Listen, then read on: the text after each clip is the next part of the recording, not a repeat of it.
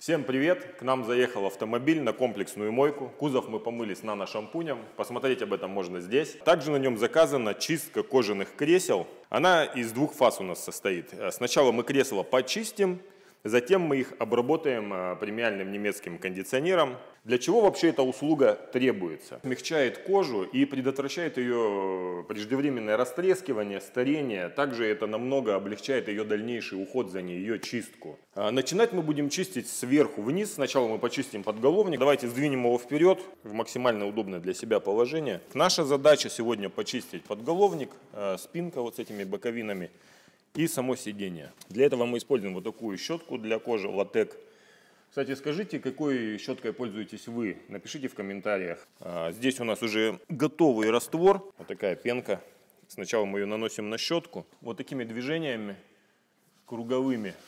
Давить сильно не надо.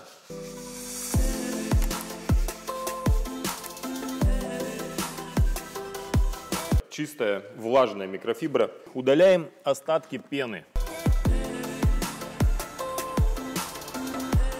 После того, как мы удалили все остатки пены, фибру нужно обязательно прополоскать. Для этого у нас стоит ведро, налитое чистой теплой воды. И можно приступать к следующему элементу, это спинка и э, ее боковые части.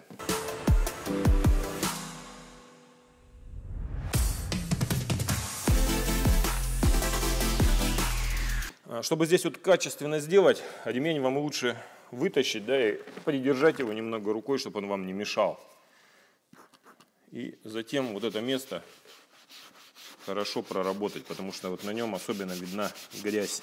Грязные места, они уже удалились. После того, как мы пройдем микрофибра, это уже будет все чисто. Остатки загрязнений, пены, микрофиброй мы все это вытираем.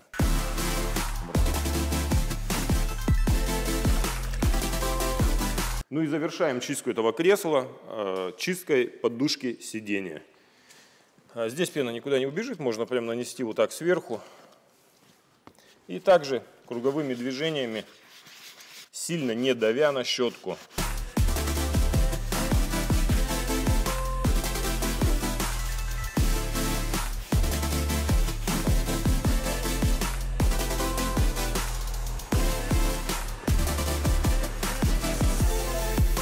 Кресло мы почистили полностью, брали всю грязь. Далее мы передвигаемся на следующее кресло и делаем то же самое.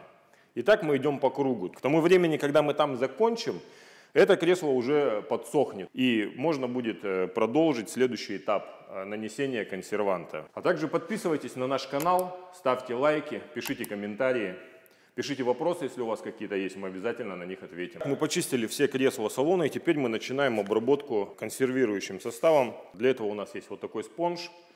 Э, наносим понемногу на него и круговыми движениями втираем в кожу. Также делаем это сверху вниз, начинаем с подголовника, спинка, боковины и сама сидушка. Вот, спешить здесь не надо, все делаем тщательно, внимательно, чтобы не оставалось необработанных мест.